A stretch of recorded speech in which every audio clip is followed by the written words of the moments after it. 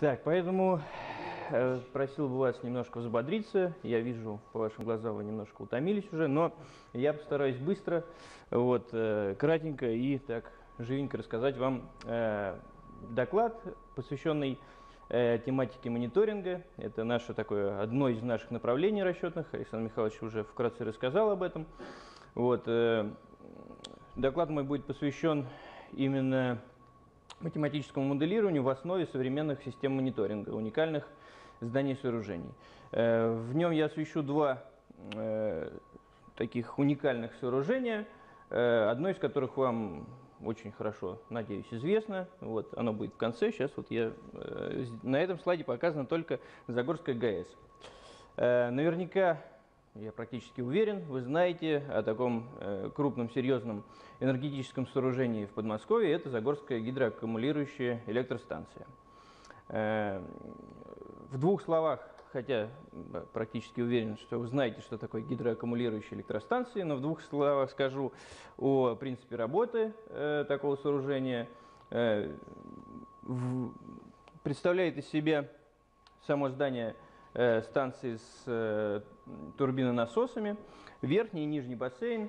Э, ночью, когда в энергосистеме имеется избыток электроэнергии, турбинонасосы работают в насосном режиме и перегоняют воду в верхний бассейн, а в часы пик, когда энергопотребление максимальное, они работают в турбинном режиме и вырабатывают электроэнергию, поставляют ее в сеть. Вот гидроаккумулирующая Загорская электростанция, она является самой крупной в России. Э, и состоит она из двух э, станций. Это станция первой очереди, которая была запущена в 2003 году. Э, вот она показана на втором слайде, видно наполненный верхний бассейн.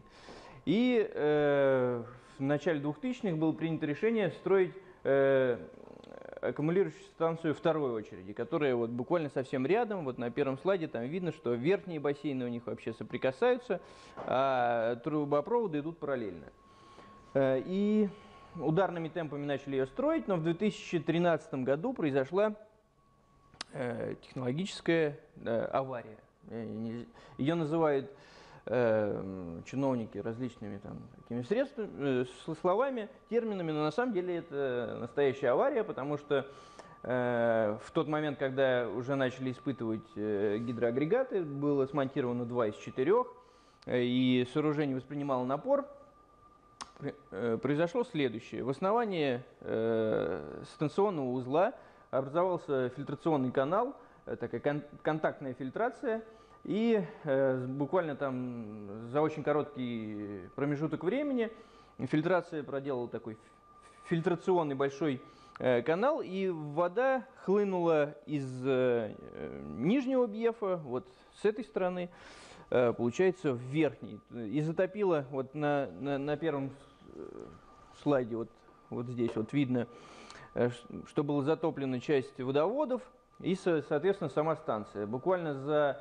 там несколько часов было вынесено из-под основания э, на минуточку 24 тысячи кубометров грунта. И это привело к тому, что огромное массивное э, э, сооружение самой станции, здание станции осело с одной стороны на метр, э, вот там метр двадцать, а с другой стороны подпрыгнуло на 20 сантиметров.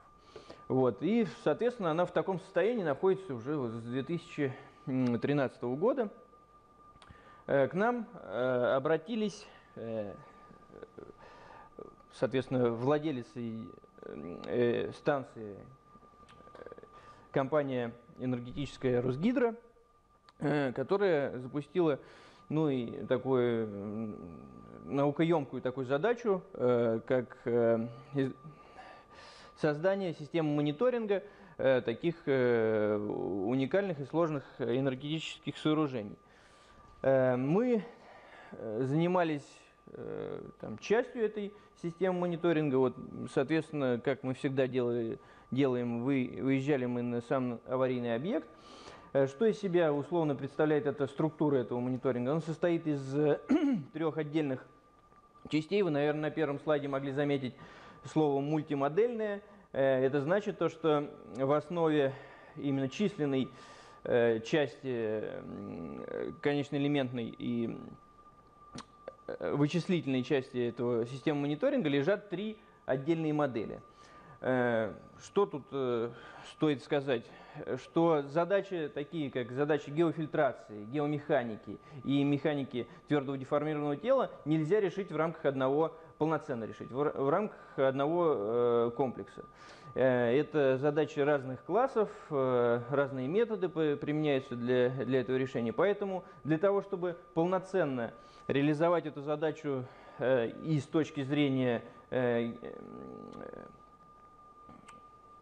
геомеханики и геофильтрации, ну и, соответственно, уже потом с точки зрения механики самого, самой станции сооружений, нужно было объединить и, там, выражается Александр Михайлович, поженить э, три отдельных э, комплекса, вот, обеспечить э, между ними обмен данными, ну и, соответственно, этим мы и занимались.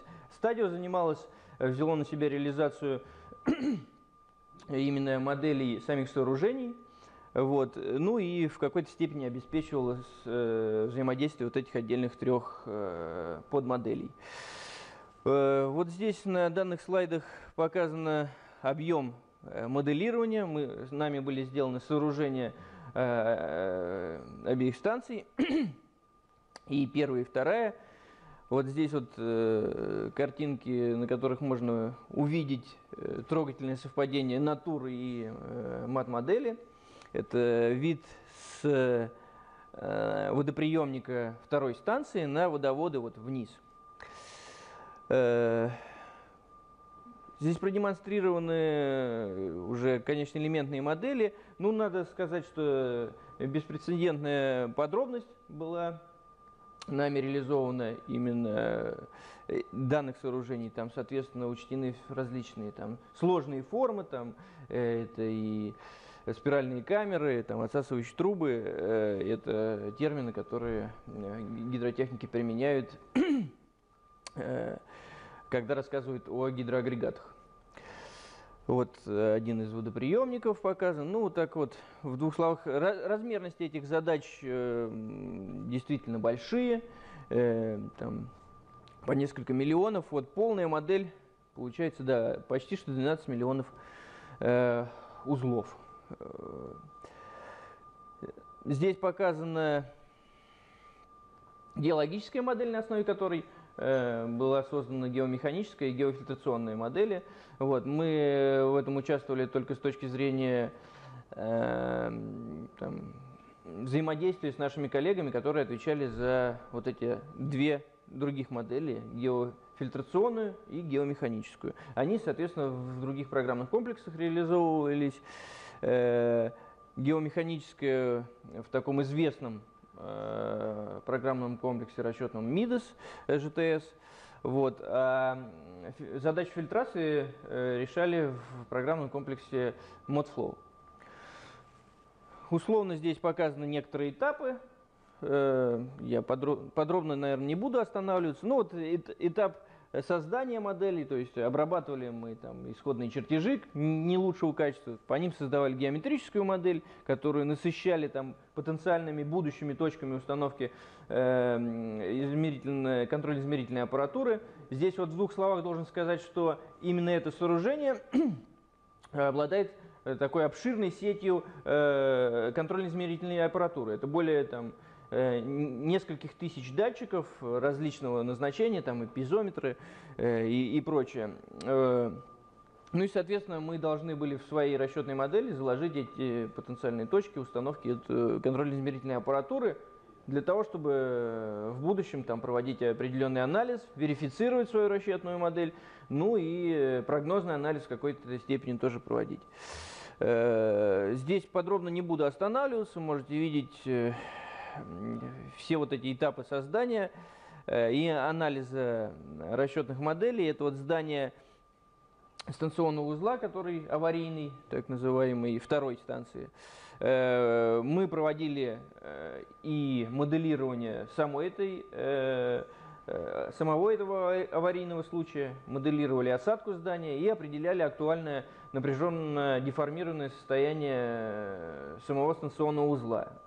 Э, вот. Э, выводы, которые мы сделали, они там были в какой-то степени там, руководством восприняты, ну и сейчас вот принимается решение э, по дальнейшей судьбе данного сооружения.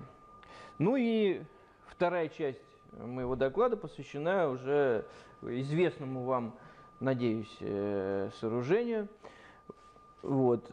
Это ионный коллайдер в Дубне, у вас здесь под боком э, Мега Сайенс проект. Э, к нему мы имеем пока что отношение только с точки зрения того, что мы проанализировали э, его, знаем необходимость создания системы мониторинга на этом объекте. Вот. Ну и в будущем, возможно, кто-то из вас примет участие в, в реализации именно задач мониторинга самих конструкций данного сооружения. Ну вот, как, как вы знаете, э, он состоит там из нескольких э, частей, на которые стоит обратить внимание с точки зрения мониторинга. Это само э, кольцо и два э, детектора. Вот, это массивные э, сооружения. Детекторы весят э, там, до 1000 тонн, по-моему. Более, более 1000 тонн, но не намного больше. Э, там, до 2000. Ну вот... Э, э, да, будут весить. Конечная их конфигурация еще не определена, но э, понятно, что они будут, э, вот это один из показан, они будут перемещаться э, в, в местах своей установки, они там еще будут двигаться по рельсам на, на какое-то там небольшое расстояние, но представьте, что такое массивное, действительно тяжелое сооружение будет еще перемещаться, двигаться, но самое главное, то, что для обеспечения э, полноценной работы этой установки и э, обеспечения проведения экспериментов, запланированных э, в институте, э, необходимо обеспечить э, уникальную, беспрецедентную э, по своим значениям относительную, относительную осадку соседних секций. То есть понятно, что точность здесь должна быть феноменальная для того, чтобы сопоставить вот эти вот э, сталкивающиеся пучки и обеспечить реализацию этого э, запланированных экспериментов. А все кольцо состоит из отдельных э, бетонных фрагментов, которые, соответственно, имеют между собой э, стыки, э, швы, и, э, соответственно, каждый из них испытывает свои нагрузки. Соответственно, Э, их относительные осадки не должны там превышать э, в некоторых местах там и э, сотых и десятых доли миллиметра, ну и там ограничено это несколькими миллиметрами в целом. А это очень массивные и крупные сооружения, вот, которые стоят на сложной геологической основе, вот, и там имеются так, также проблемы э, геофильтрации. Э, И даже поднимается вопрос о взаимном влиянии там, соседне расположенных зданий на э, вот эту установку, потому что она очень чувствительна к этому. Э, вот здесь вот приведены некоторые фотографии стройплощадки, э, причем вот во времени это вот наш, наш первый выезд. Здесь вот показано, что еще кольцо само еще не было замкнуто вот некоторые его элементы. А вот это вот следующее, это уже свежая достаточно э, фотография. Вот здесь вот видно, монтирует конструкции будущего MPD. Э, вот, кольцо уже замкнуто. Ну и вот еще несколько буквально фотографий, э, связанных с текущим состоянием настройки. С, этим вы тоже можете совсем ознакомиться. На сайте э, Ники там есть вот эти съемки. На данном слайде показано несколько расчетных э, моделей, которые мы уже проанализировали, касаемо они э, именно самого кольца. Это результаты и данные генпроектировщиков. Нам любезно предоставили их для анализа и как бы, выработки дальнейших наших действий. Ну, я здесь подробно не буду останавливаться, просто вот продемонстрирую, что в объемной постановке сложные Э, задачи с нелинейными грунтами, там, э, моделями грунтов с, со сваями и, и прочим, прочим, прочим. В общем, наверное, я на этом остановлюсь. Э, коллегам еще нужно тоже время, чтобы они вам о своих интересных направлениях рассказали. Готов ответить на вопросы, если они имеются. Надеюсь, что мы с вами еще э, с кем-то из вас пересечемся, как минимум по, по объектам, э, вот, допустим, э, Ники. Вот. Рад был знакомству.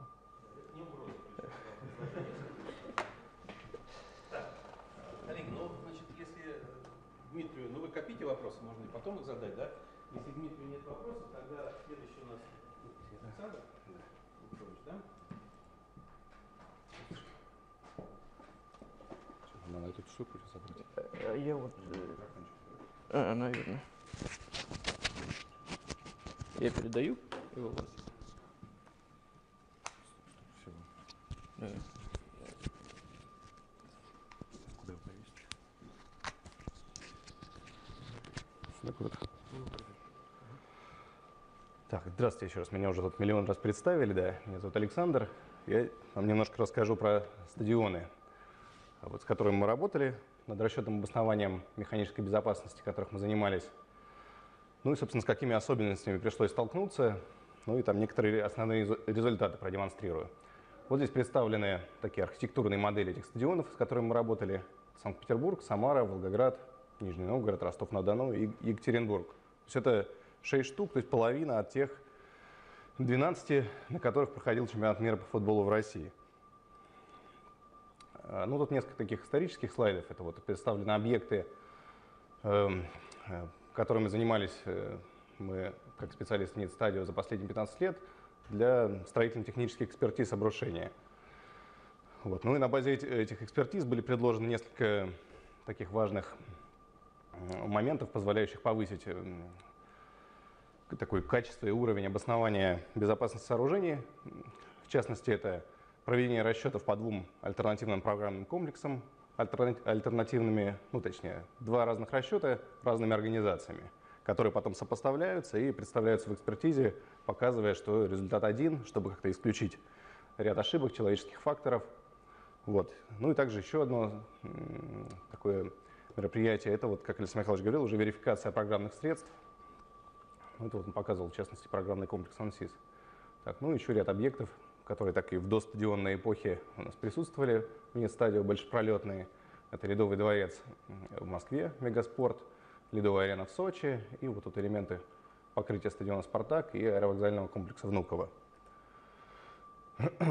Вот. Теперь уже те же самые шесть стадионов, но уже не архитектурные картиночки, а именно наши расчетные модели, построенные в программном комплексе ANSYS Mechanical, который как раз-таки верифицирован в системе Российской Академии архитектуры и строительных наук. Вот. И здесь показаны вот их вычислительные размерности. Сколько узлов, элементов.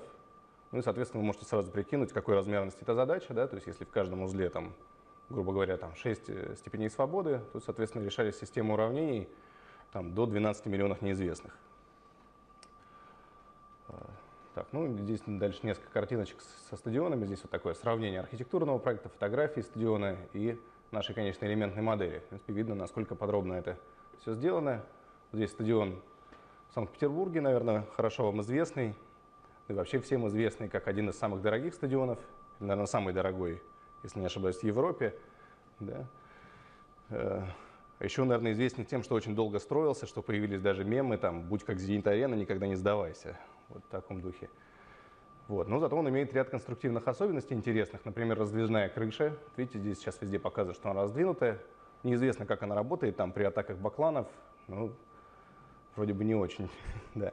И еще здесь интересная особенность, что предусмотрено вот такой вот как бы тоннель, условно говоря, да, под одним из секторов трибун, под которым поле футбольное с травкой может выкатываться за пределы конструкции стадиона соответственно, травка будет хорошо расти, и при проведении матча его должны закатывать обратно. Но, насколько мне известно, там какие-то возникли проблемы, и эта функция не работает.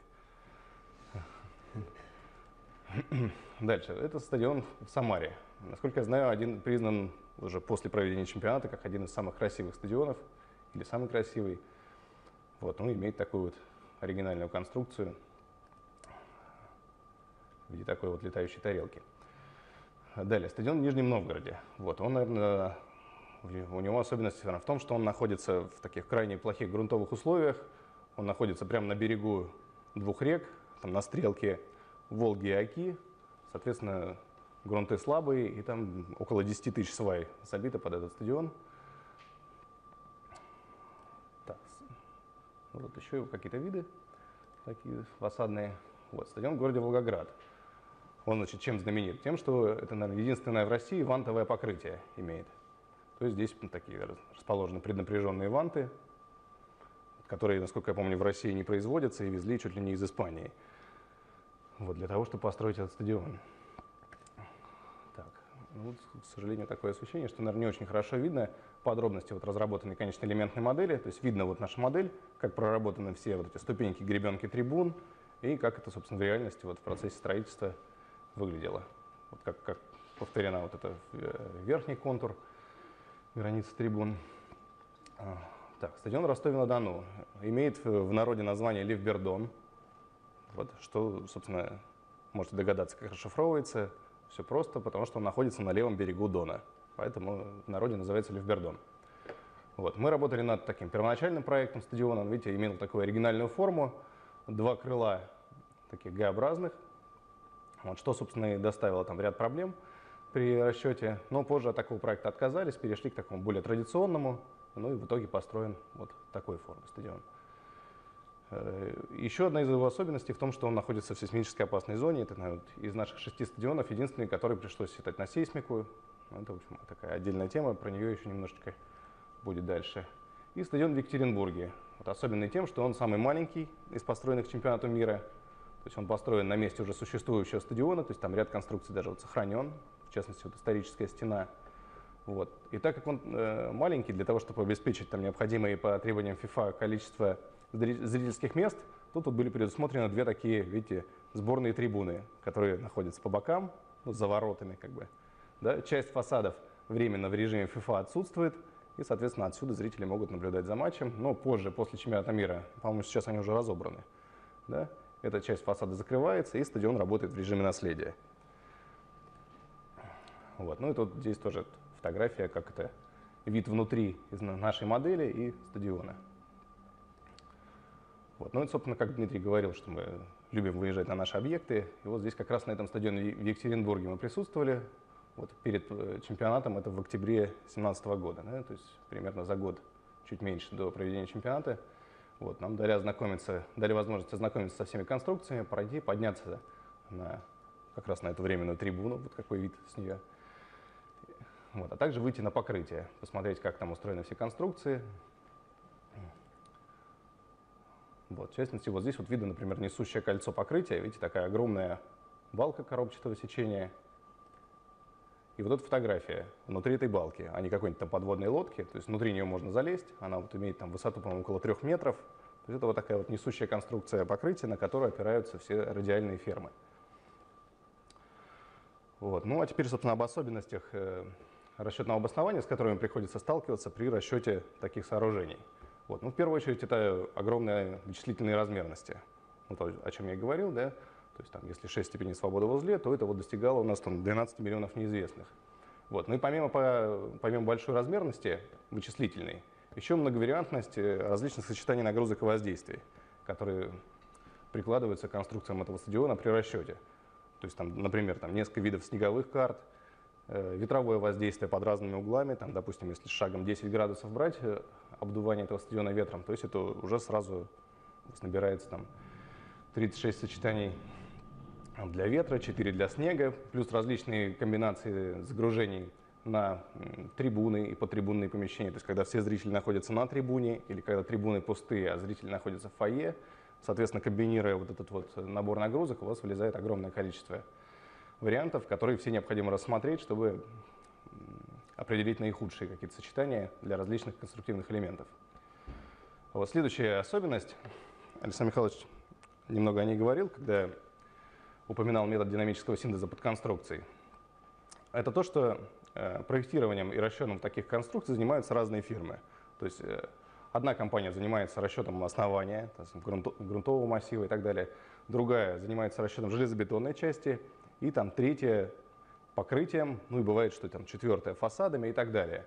Вот. Все это делают в рамках отдельных моделей, и надо как-то обосновать вообще, возможно ли такой переход, или может быть надо считать в рамках одной, чтобы учесть взаимное влияние всех этих э, подсистем друг на друга.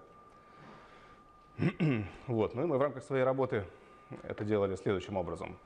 Так как мы строили полную модель и сопоставляли собственные частоты и формы колебаний, то есть динамические характеристики полной модели и модели подсистем. Вот здесь в частности видно, да, какие формы колебания у покрытия, это вот стадион в Екатеринбурге, и у полной модели.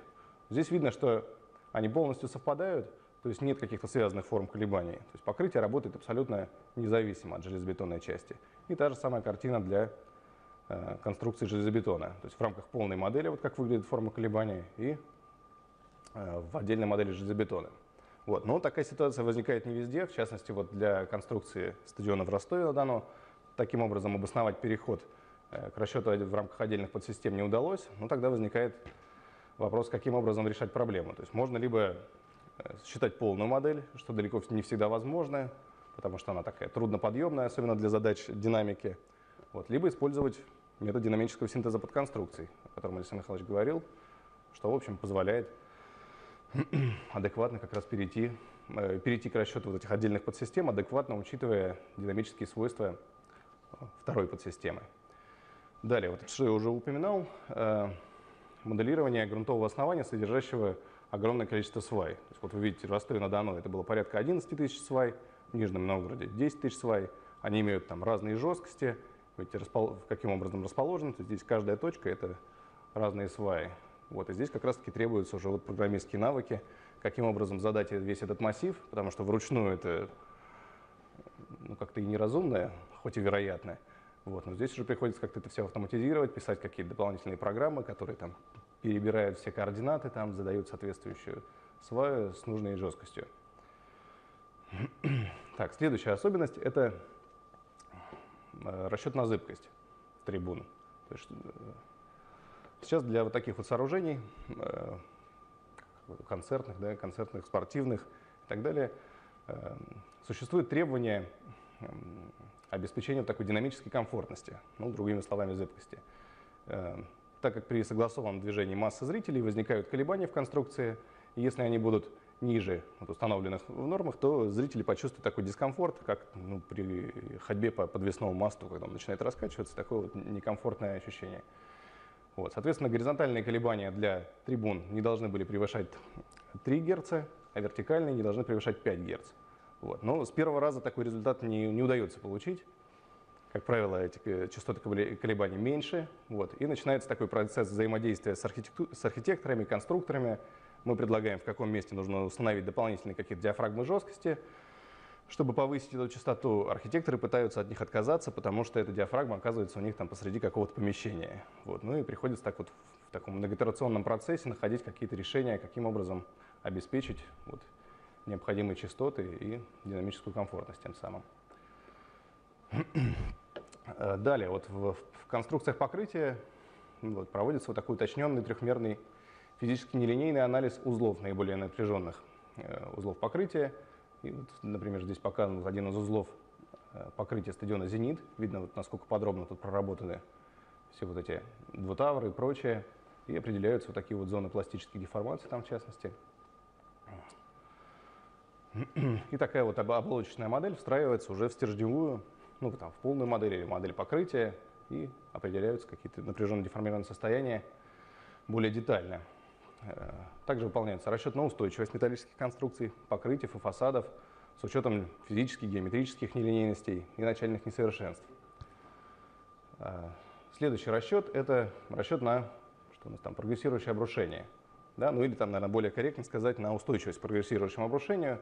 То есть рассматривается ряд сценариев – при которых такие рассматриваются аварийные ситуации, выход из строя там, одного из несущих элементов конструкции, там, покрытия или, или железобетонной части. Ну, в данном случае показано, вот, что выходит из строя один из элементов покрытия.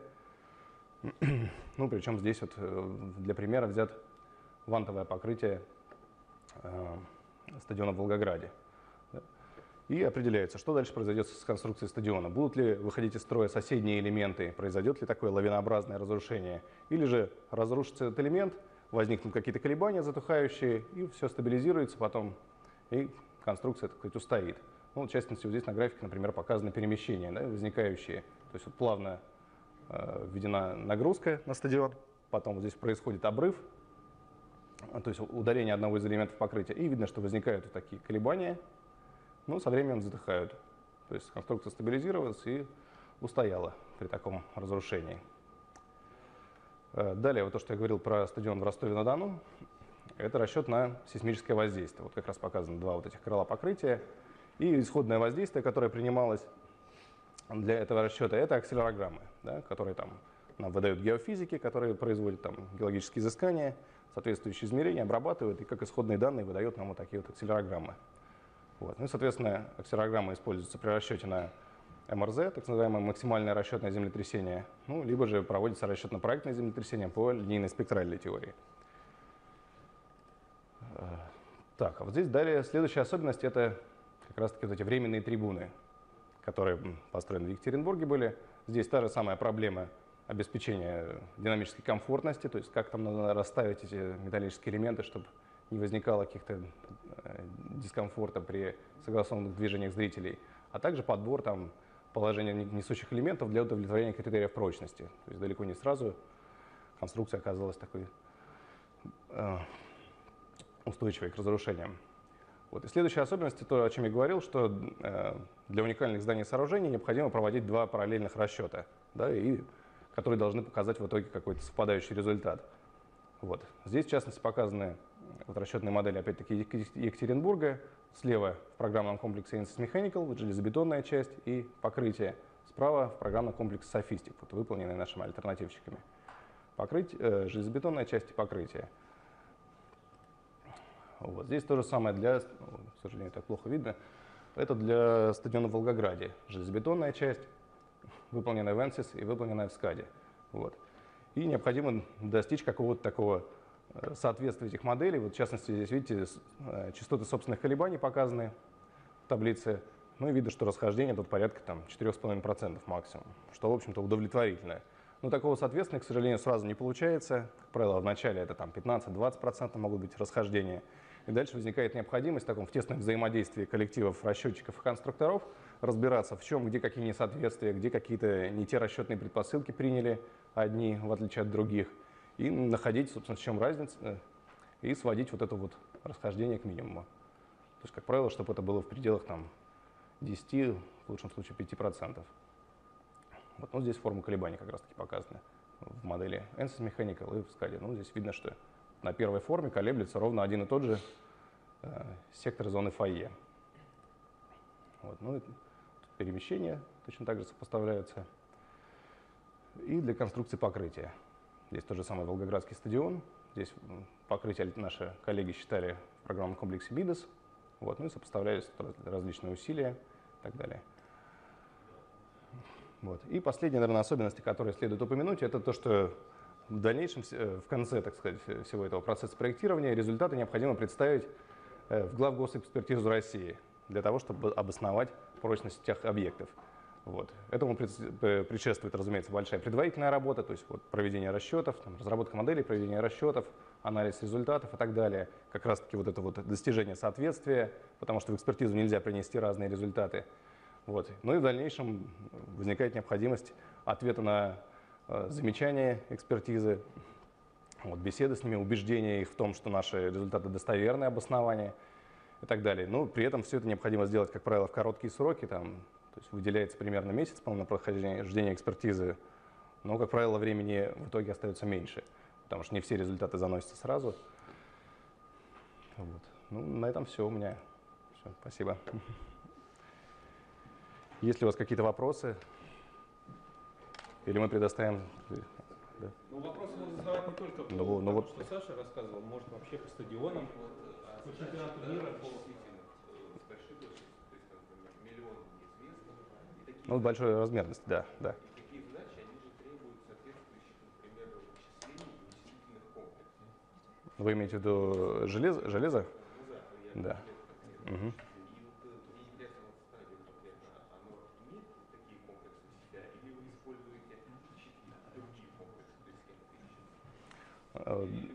нет, ну, в рамках стадии мы пользуемся обычными, ну, такими, на первый взгляд, обычными, но достаточно мощными персональными компьютерами, да. Ну, в принципе, есть возможность, во-первых, их объединить в какой-то там кластер для таких э, требовательных к вычислительным мощностям задачам. Вот. Ну и, в принципе, мы да, сотрудничаем с университетами, в которых есть кластеры. Там, в частности, вот мы пользовались кластером Дальневосточного университета, что, в общем-то, удобно, потому что когда там ночь, у нас день, и мы, в общем, полноценно можем его там круглосуточно заде задействовать.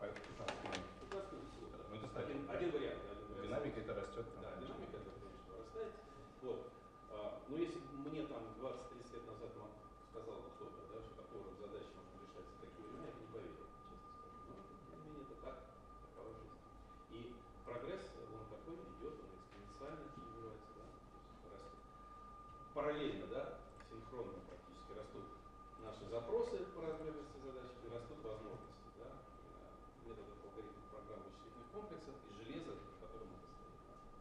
Так устроен прогресс.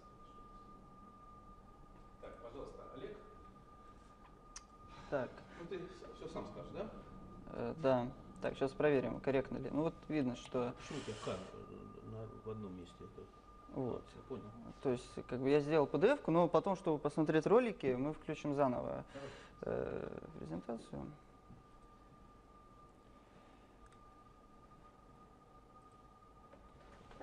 Так, не знаю, насколько видно. Так.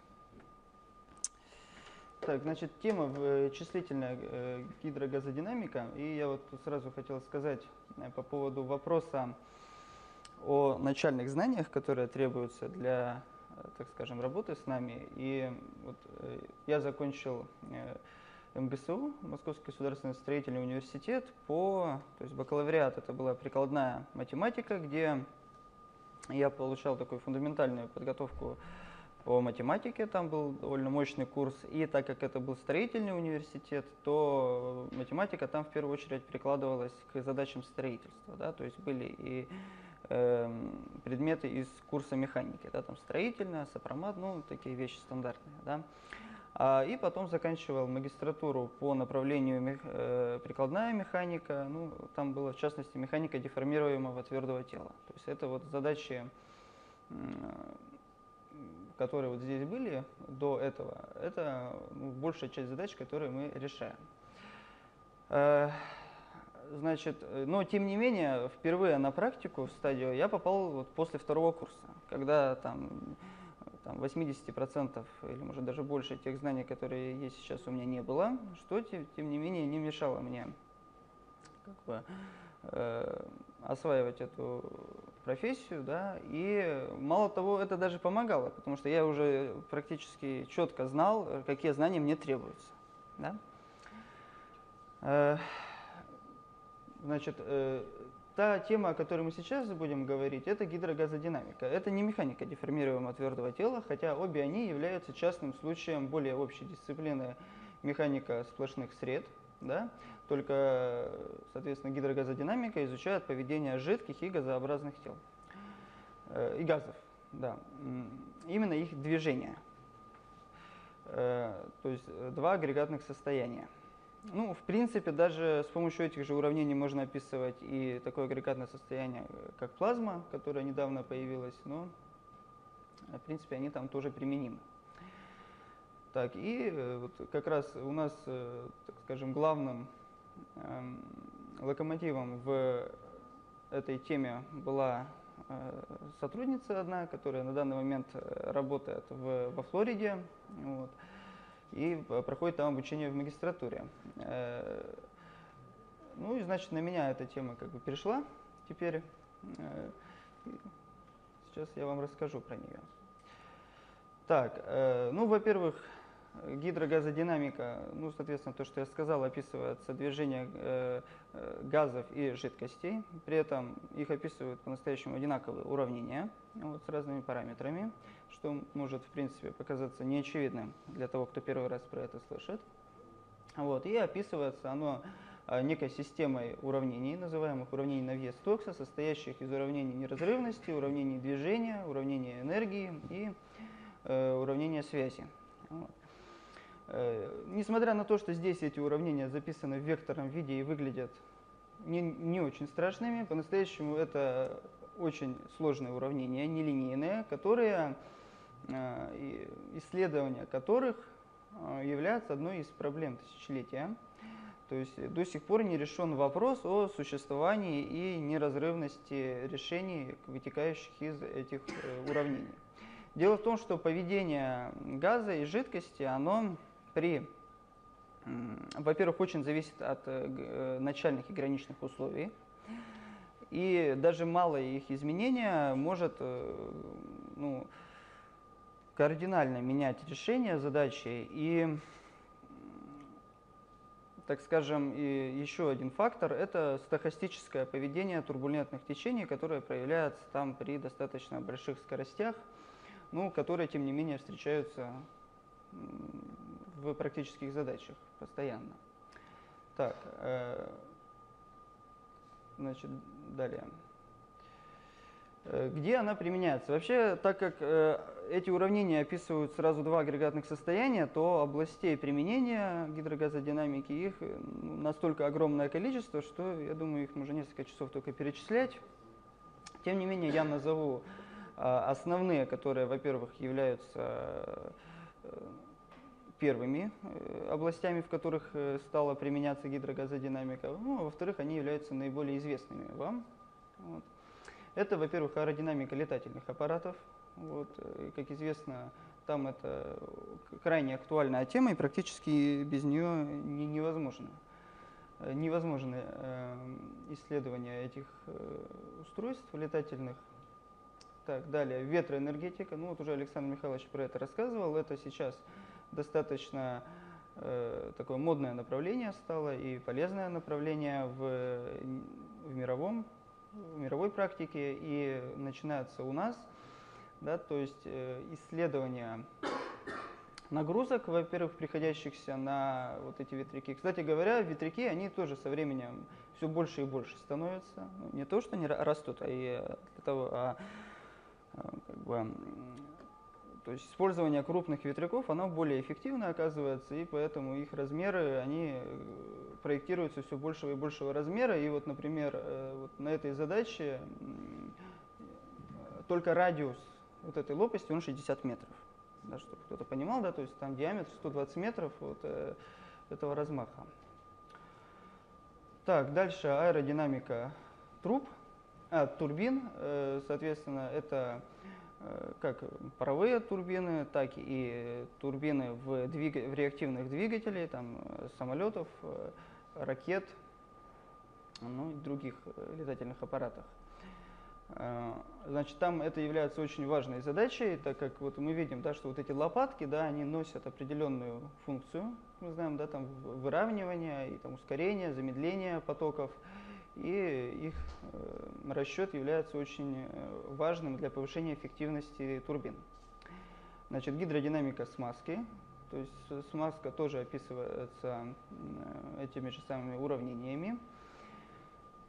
И, соответственно, в задачах соединений, это довольно старая такая тоже задача, в которой возможно там значительное допущение, упрощающее решение, но тем не менее это называется дисциплина такая частная гидродинамика смазки. Так, э, следующая тема это формирование композитов. Вот это мы недавно, не так давно столкнулись э, с, впервые с такой темой. Вот, во-первых, ну, то есть там расскажу, какая примерно история. То есть существует некая установка, которая, в которой нагнетается воздух и э, подаются определенные такие филаменты и каменноугольный пек. Каменноугольный пек. Все это должно в установке максимально однородно перемешаться и получается такой пресс-пакет, который потом будет уже обрабатываться и из него получаться композит. И, соответственно, оказалось, что достижение однородности в этом пресс-пакете оказывается ну, невозможным в рамках вот тех экспериментов, которые э, там, сама организация над ними проводила, потому что уловить те сложные зависимости ну, экспериментально оказалось очень сложно. Да? И вот наша задача, если все хорошо получится, то мы эту задачу решим. Вот, она на данный момент как раз у нас в работе. Это одно, э, повышение однородности этих композитов и, как следствие, увеличение качества получаемых изделий. Да? Также помимо, конечно, такого примера композитов, это и, в принципе, их перемешивание, там, э, запекание и в жидкой форме э, тоже там, соответственно, задача может быть решена нашими этими методами. Так, э, дальше, э, значит, область применения это экология. Значит, во-первых, распространение выбросов, радиации, это от труб, там, пожаров, Э, тоже является такой важной темой. Вот. Дальше такая задача, как ну, седиментация, это значит оседание частиц, э, то есть э, это происходит в различных очистных сооружениях, где требуется для того, чтобы определенные частицы остались там, где им нужно, а все остальное текло дальше. Вот. Ну, это и в природе тоже бывает важная задача. Планирование ландшафта, ну, это что-то очень сходное с пешеходной комфортностью, когда Э, значит, разбивается какая-то область таким образом, чтобы людям там было максимально комфортно, ну и, наверное, не только людям, но и растениям, э, с точки зрения э, ветра. Да? Ну, об этом я поподробнее еще расскажу, с точки зрения уже строительства. Так, ну, наше основное вот место, где мы применяем аэродинамику, это э, строительная аэродинамика. Значит, э, у нас есть практически одноименная книжка, вот, э, такая весьма существенная, где были разработаны методики, по которым сейчас э, мы даже проходим, э, например, экспертизы, про которые тоже Саша говорил, про главгосэкспертизу, в которых наша книжка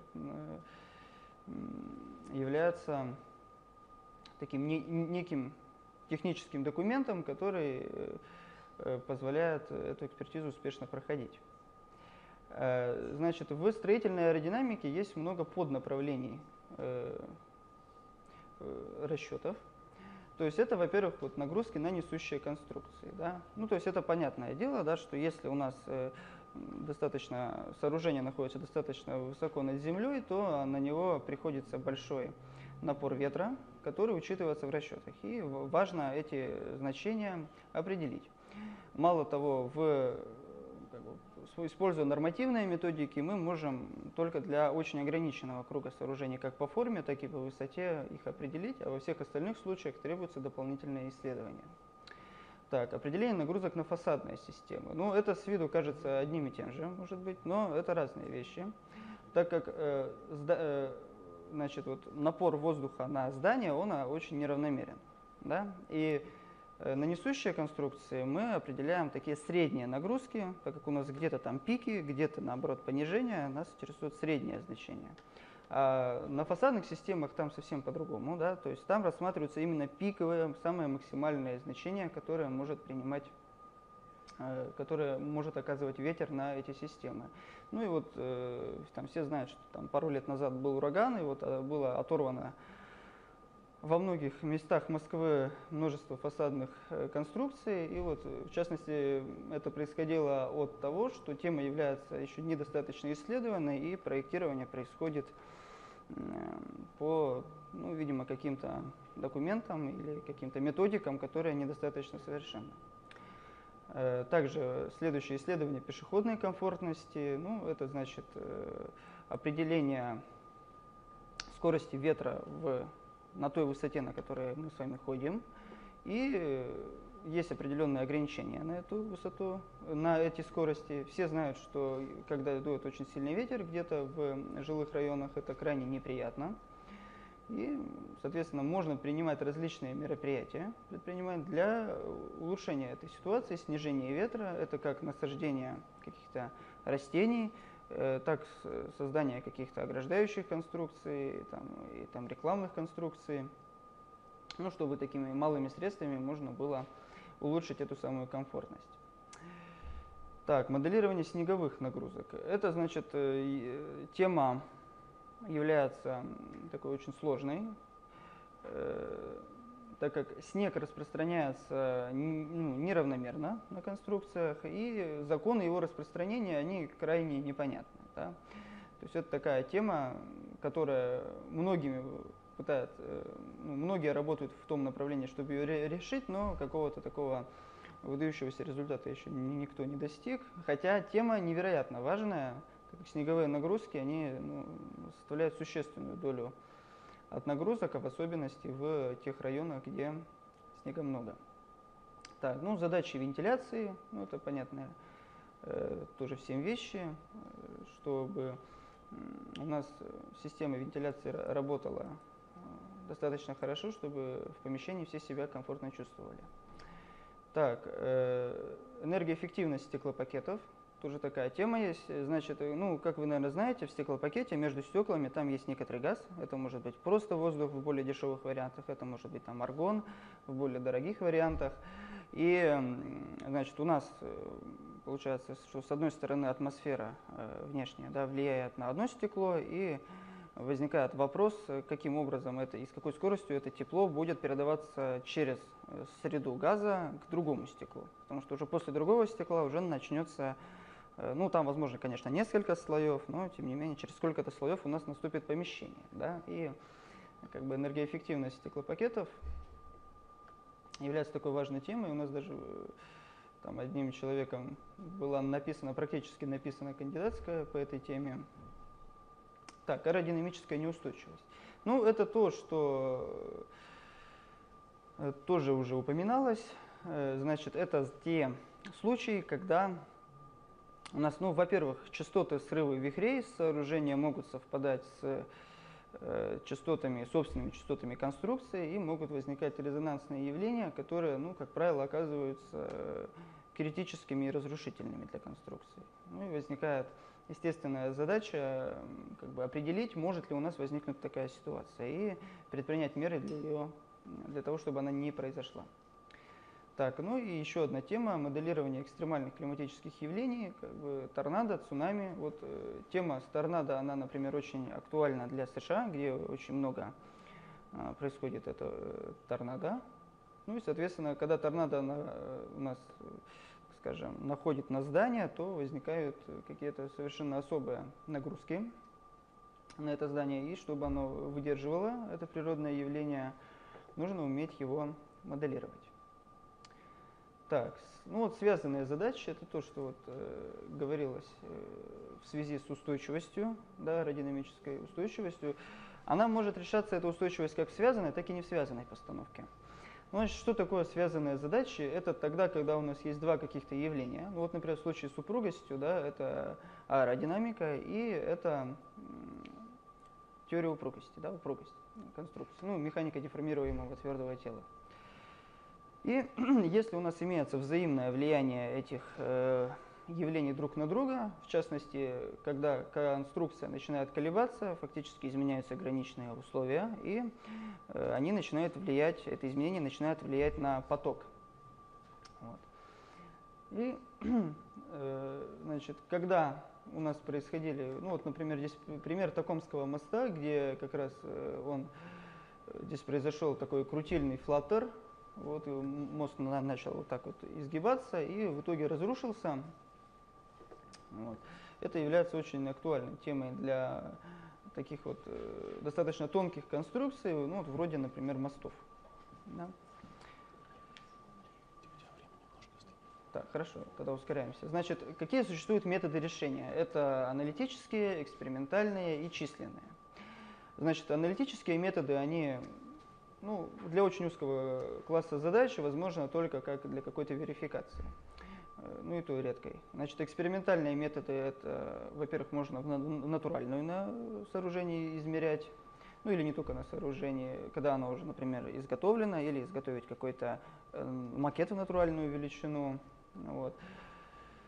Э, и дальше экспериментальное в лабораторных условиях, когда создаются какие-то уменьшенные масштабы э, там, конструкции, и потом они, ну, на, например, в строительстве это продуваются в аэродинамических трубах. И, значит, численные методы, которые, на которых э, специализируется наша организация. Значит, и в случае задач гидрогазодинамики это в первую очередь метод конечных объемов. Так.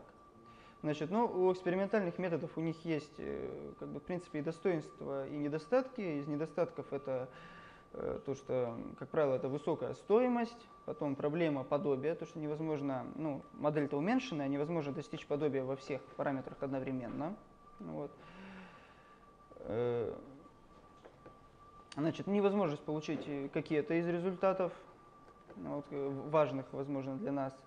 Вот. Ну и Значит, из э, достоинств то, что, в принципе, если у нас уже процесс отлажен, то э, там продувка занимает не так много времени. Так, э, да, и связанные задачи, они решаются достаточно быстро, если уже все отлажено. Вот. Значит, численные методы, они тоже имеют достоинства недостатки, как и все методы. Э, значит, ну, во-первых, там нет недостатков аналитических и экспериментальных, но возможно учитывать очень сложную геометрию, э, очень удобств, большие удобства в плане визуализации результатов, э, но проблемы там, скорее, вот, э, это модели турбулентности, ну, соответственно, вот, моделирование маленьких вихрей, и не только даже маленьких, оно сопряжено с очень большими вычислительными трудностями, которые решаются с помощью модели турбулентности. И, соответственно, в разных задачах эту модель нужно подбирать и как-то корректировать. Э, ну, опять же, если где-то уже это процесс отработанный, то там этого не требуется. Значит, э, и в случае связанных или там нестационарных задач требуются очень большие вычислительные мощности. Ну вот, например, у нас была, наверное, самая такая большая ну, возможно, она и не самая большая, но такая очень крупная задача из последних, где вот э, у нас был нестационарный расчет ветряка, и там было, насколько я помню, где-то порядка 20 миллионов неизвестных, и э, так как задача не стационарная, то есть должна решиться на каждом моменте времени, то это у нас решалось около месяца. Так, на вычислительном кластере. Так, ну, значит, вот этот объект уже показывали, поэтому я на нем не буду останавливаться, значит пролистнем тогда его.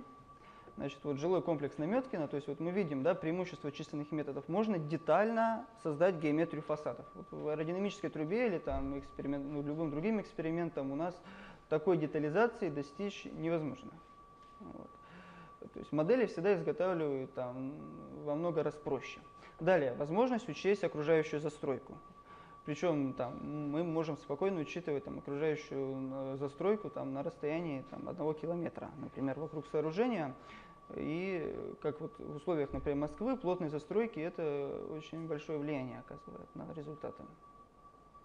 Так, вот здесь вот тоже в этом пешеход, э, пешеходная комфортность исследовалась в этом же комплексе. Вот это расчет ветряка. Да. Так вот мы видим тут, как такие турбулентные потоки срываются с лопастей и башни. Так, давайте я вам ролики что ли покажу. Ну да, все, остались вот только ролики и все.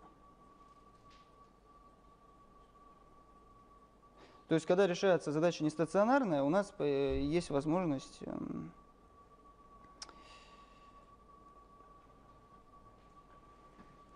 создать такие красивые э, ролики, которые, конечно, носят по большей степени презентативный характер.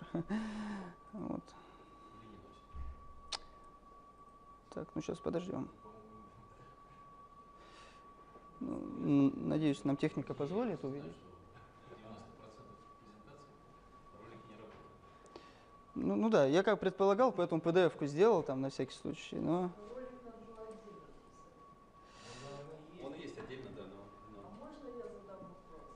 Ну, в общем, даже все равно кому. А можно вот понять, что является входными данными для задачи? Дальше, что вы дальше делаете? Вот вы получаете, у вас, ну, у вас уравнение. А, такой вот, как происходит цикл ра- работы, да? Дальше, как вы их решаете? Вы сами пишете программу, вы какую-то стандартную программу используете, вы какой-то набор программ используете.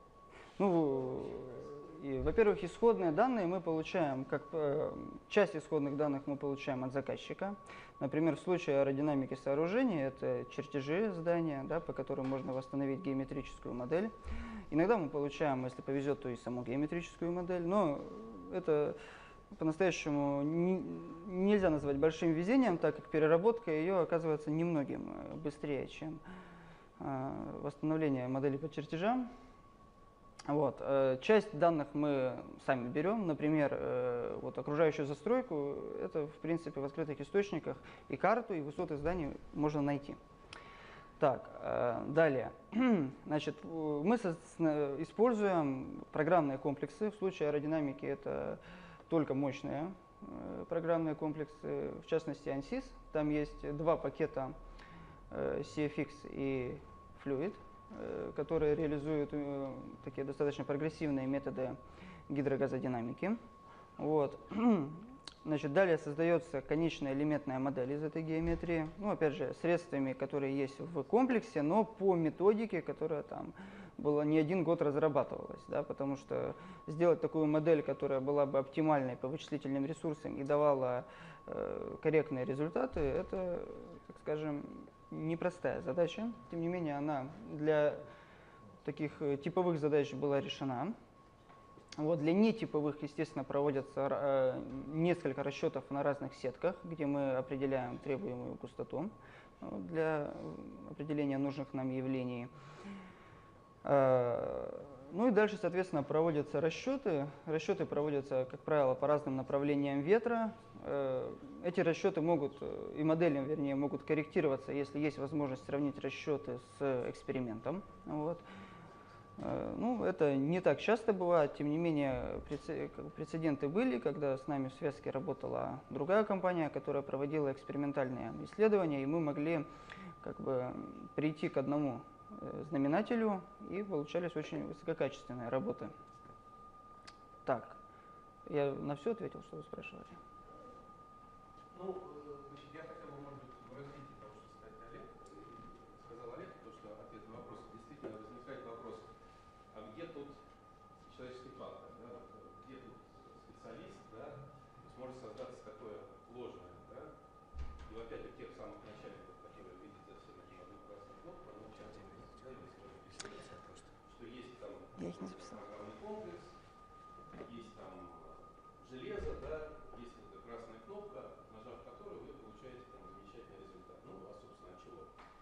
Вовсе нет, да, вовсе нет. И вот э, и я, и ребята это показали, да, что для того, чтобы а, правильно поставить задачу, а, правильно а, разработать расчетную модель, ну и вообще выбрать, в том числе программный комплекс, свой ли разработать или развить, или вот такой мировой бренд типа ANSYS, э, CFD или там ANSYS Mechanical, да, для того, чтобы правильно провести расчетные исследования, не обработать их, представиться, поставить с альтернативными расчетами, да, и защитить это в соответствующих экспертных органах, да, это все как бы ваша квалификация, да, а, и как бы никакой компьютер, э, никакой дядя, да, значит, какой-то со стороны вам, так сказать, не заметит, да, то есть это ваша квалификация, которая нарабатывается а, многими годами, ну вот потому что известно, например, что хорошим математиком, более того, гениальным математиком можно стать и проявить себя там в 20 лет. Да? Вот были такие гении, которые 20-25 лет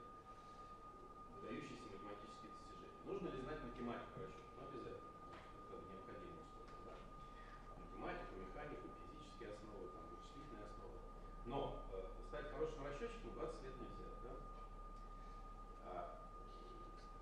страшную вещь для Олега. В 25 лет тоже нельзя стать хорошим айтишником, да? Мне это безусловно известно.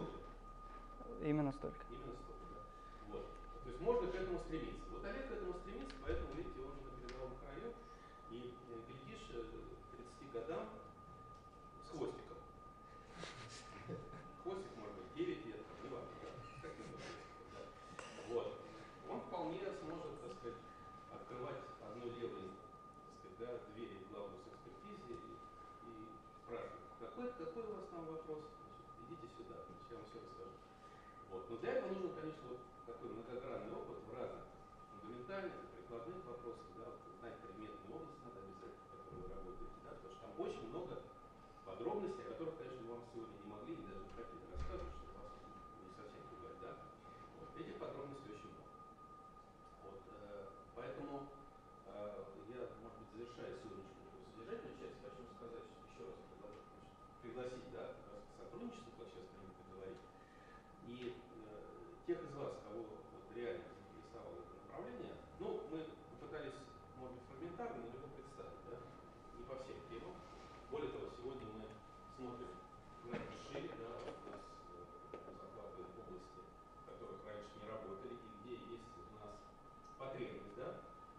Не скрою, не только потому, что мы такие умные, э, мы так думаем о себе, конечно же, но не только поэтому, да, а просто потому, что э, вот потенциал научный в России сильно ослаб. Да? То есть есть ряд областей, куда бы нас раньше точно не пустили. Ну, совершенно точно. Там было вполне достаточно научное сообщество. Да? Оно сейчас поиссякло, да, и это, значит, вот эти области смотрят и в нашу сторону, в частности. Да? Поэтому вот э, не бойтесь там, да, задавать мне вопросы, ходите с нами в контакт, тем более мы тут рядом, вот Филипп, можно сказать, э, директор этого центра, да, мы здесь тоже бываем э, и, и будем всякий раз, когда, когда у нас будет значит, потребность. Вот. Если еще раз у вас остались вопросы, задавайте. Значит, э, повторю, э, вам об этом скажут нам лучше, наш преподаватель, что, э, вот, например, на летнюю практику, да, тех из вас, кто захочет в ней участвовать, мы приглашаем э, в, с- в стадию, причем режим может быть кто-то обго- обговорен, там, присутственные, дистанционные, да, онлайн, офлайн, там, это все тоже у меня очень передовые запускайте люди. Я вам недавно говорил насчет там, Владивостока, Москвы, Флориды, да, то есть мы работаем везде, так, э, где и как у нас есть интерес. Да. Еще раз спасибо за внимание. Значит, э, если есть вопросы. Вот, удалось ролики запустить. А? Удалось ролики А, запустить. Э, Значит, э, э, значит, это у нас резервуар, наполненный нефтью, и ра- расчет на сейсмическое воздействие, то есть здесь де- девятибальное землетрясение, которое вызывает колебания нефти в резервуаре. И, соответственно, как раз про- проявляется связанная задача. То есть нефть у нас является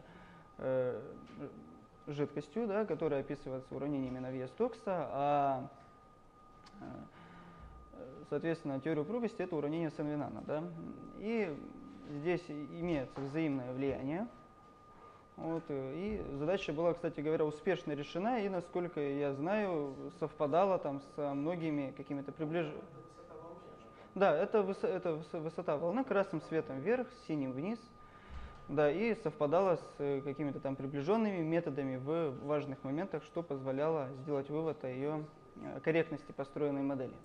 Ну, Олег сам не проводит расчеты, как раз Да. э, вот, Лина Афанасьева, которая сейчас во Флориде, если бы она рассказывала, она бы рассказала и то, что это не просто э, вот этот резервуар, а здесь показана модель экспериментальной установки этого резервуара, то есть как бы одно, да, то есть мы сравнивали именно с результатами эксперимента, а, который проводился вот тоже в научном исследовательском центре, профессор, и он показал очень, так сказать, близкие результаты. Да, вот отсюда видно значит, Так, это- это уже другое. Так, это вот я другую включил. Вот была картинка Токомского моста, где э, я рассказывал вам про его разрушение. И вот, соответственно, тоже у нас аспиранткой другой была решена эта задача в такой упрощенной постановке. То есть вот здесь находится только его сечение.